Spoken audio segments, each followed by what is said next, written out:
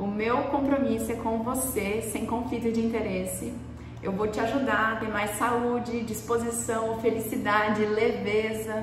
Quero te ajudar a chegar no corpo dos seus sonhos. E mais do que isso, eu quero que você se mantenha com esse corpo tão desejado. Quero que você sustente os resultados.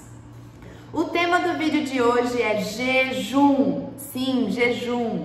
Esse tema tão polêmico que na verdade nem precisaria ser polêmico, afinal tem muita ciência que embasa esse assunto jejum.